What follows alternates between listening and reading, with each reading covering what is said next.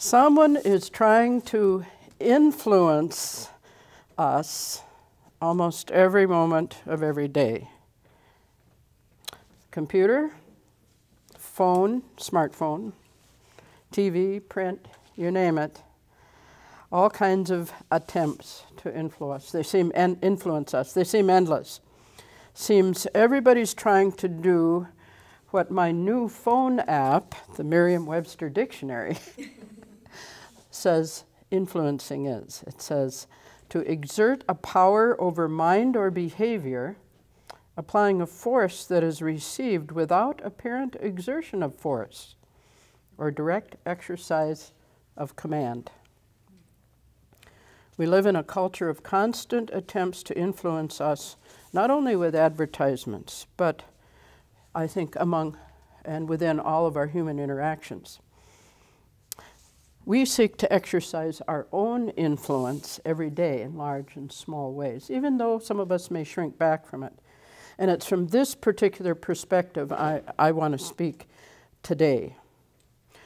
I want to call attention to one important ingredient that I think is often missing in the ways we try to influence others. Now, many of our efforts to affect the way someone thinks or behaves or how something happens is not influence at all. And it's certainly not art. And I think the overarching title of the TEDx talks is The Art of Influence.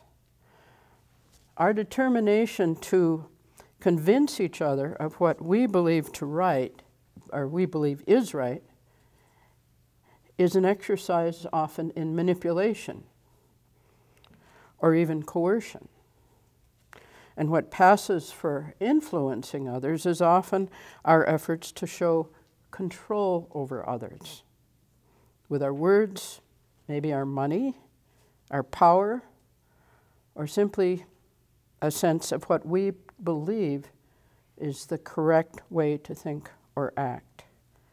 We try to make people, make people, see it our way do it our way. All of us have opinions about right and wrong. We desire to make some kind of impact in shaping the world to our liking, or as we continually chant, to make a difference. Of course, the difference we want to be made coincides with the worldview we have and what we think will make things better, what we think should be done. How then can we exert that definition again, a power over the minds and behavior of others without apparent exertion of force or direct exercise of command? Our youngest daughter, Louisa, is now 26. She had sucked her thumb and nuzzled her blanket from the time she was two and a half years old. Yes, that was an odd time to begin. But trust me, the habit was well established, I would say immutable, by the time she was seven and a half years old and finishing first grade. By that time, my husband and I had succeeded only in getting her to leave the blanket at home most of the time, and the blanket was part of the thumb sucking deal. Sometimes she'd sneak it into the car when we'd go somewhere, but we didn't allow it to be taken out into public. Okay. So it was the kind dentist, I believe, who said, Her two front teeth are now coming in. It's time for you to stop her from sucking her thumb. It's going to cause problems. The teeth are going to stick out. Other problems are going to happen with her mouth if you let her keep this habit going. Okay. Our position as parents was right, okay? It was backed up by an expert. There had to be a reduction of thumb sucking for the good of our little girl's future.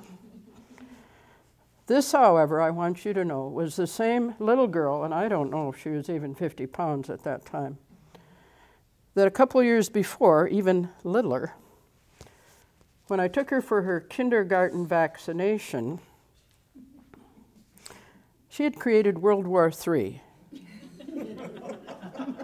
it took the doctor, two nurses, and myself, four people, to hold her down so she could get that shot. In the meantime, everybody in all floors of the clinic heard the blood curdling screams. okay, this is the child that we're dealing with. My husband and I desperately wanted to make a difference for the good in our daughter's life, to influence her to do the right thing. Well, this is what we figured out.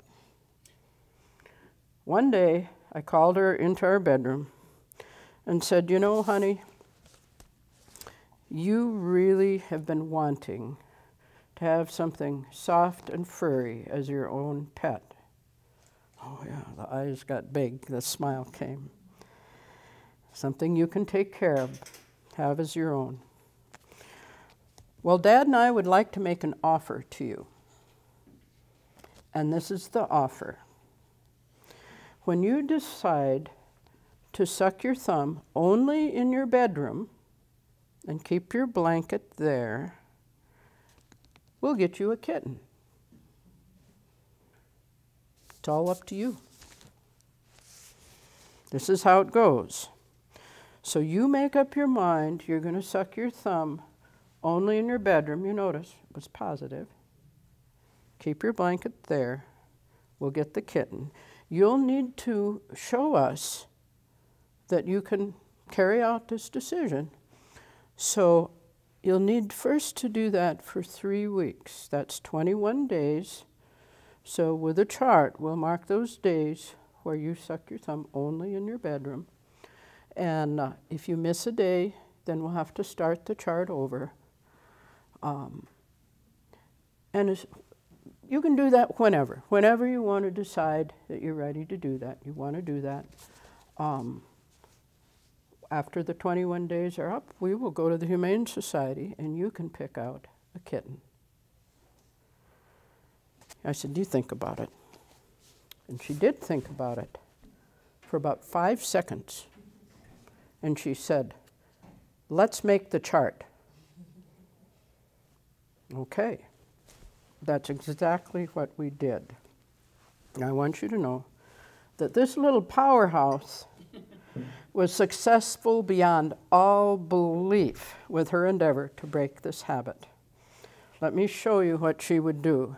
She'd sit and watch TV with her holding her thumb between her knees as hard as she could. And then when a commercial break came, she would run at the top, top of her speed into her bedroom and grab the blanket and get her little thumb sucking fix and run back in time for the show to start again. That's what she did. And this went on, and the stickers went on, one by one by one. And I can say that she did not suck her thumb outside of her room. I mean, there was maybe a little cheating here and there. From that point on, and of course it diminished even more. The kitten she picked out was gray, and we named her Hallie. And darned if that cat didn't live 18 years. we just laid old Hallie to rest this last fall in the garden. It's true, it's true. Now, this story, besides being entertaining, points to the key ingredient that I mentioned that's missing from many of our attempts to affect the way we want to influence people in our lives at home, at work, our jobs, um, in our communities, in our political lives. You see, I listened to and sought to understand my seven year old daughter instead of trying to make her do just do what I wanted, what I knew, and I really did know to be best. I also considered what I was willing to give up. but most of important of all, I accepted who and where she was in her life and met her there. I left her free to choose, even as both my husband and I offered her a compelling reason to make that choice. This is what's left out in many of our misled efforts to make an impact on others. The art of influence is not about us, you and me. It's about taking the time and effort to listen to and seek to understand those we seek to change. My husband and I could have started World War IV with this little girl and her blanket. Believe me, we considered several ways to do that. Instead, we set aside being right long enough to allow her to influence us, and we shaped our approach accordingly. I am now serving as a representative in my first term, second session of the South Dakota Legislature. I am right about so many things. oh, I am. I cannot understand why someone could differ from me. But there's the invitation right there. Will I take time to learn and understand why it is someone takes a position different than mine? Will I even be interested in that? Will I make accusations and assertions about my opponent's brain power, motives, level of caring, or any other judgments I'd like to deliver? Or will I genuinely seek to discover who they are and what this position they've taken is all about. Will I get to know them? Is there a chance that they might get to know me? My efforts to argue almost always fail.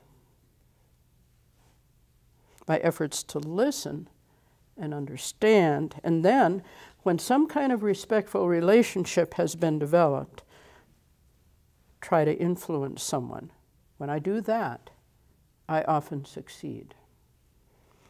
I do not get my own way. But sometimes I've been able to work together, together with others whom I disagree to accomplish what we would both see as good. I continually hear my colleagues, any side of the aisle, make assumptions and judgments about other legislators and their character and their positions. I am working to try to stop from doing this, stop myself. When we really want to influence someone, it can help so much to get to know and accept them on their own terms. Advertising companies endlessly survey their potential customers. And somewhere along the way, they found out that we really love to see babies, small children, puppies, right? Does anybody know what the most popular Super Bowl ad was this year? The puppy and the Clydesdale, correct. That didn't happen by accident, did it? Budweiser got to know their audience. A few years ago, I was part of a graduate program in preaching and received a Doctor of Ministry degree. The basic premise I explored um, in that was in order to be successful, a preacher needs to consult the experts. And who are the experts? The listeners. I spent much time and effort in the church I was serving at that time, working with the members of the congregation, both before I preached and then after I finished preaching a sermon for them. I got their help in trying to discover what was effective and life changing in a message for them. Now, I believe I've had a deep influence with some of my preaching, not all, on the lives of listeners through the years. I've been told as much. But the extent of that influence is in direct relationship to how well I knew and cared about those listeners. Now I teach preaching every other year at our local seminary to students that are on the non parish pastor track. And the most common mistake by a beginning preacher is to focus only on the message that they have crafted and getting it just right, and forgetting to even think about those listening to the sermon their needs, desires, level of understanding, hopes, all of that. These new preachers think it's all about them. Our influence with others is severely diminished when it's only about us. Instead of slipping into our old habits of criticizing those with which we disagree and differ, focusing only on what we know to be right and what we have to say to the world, I hope you will consider joining me and getting to know, understand, and care about those we would like to change. Taking time and effort to listen to and understand those with whom we disagree will provide a doorway for us to truly influence them and to be influenced by them for the good of all. Thank you. Thank you.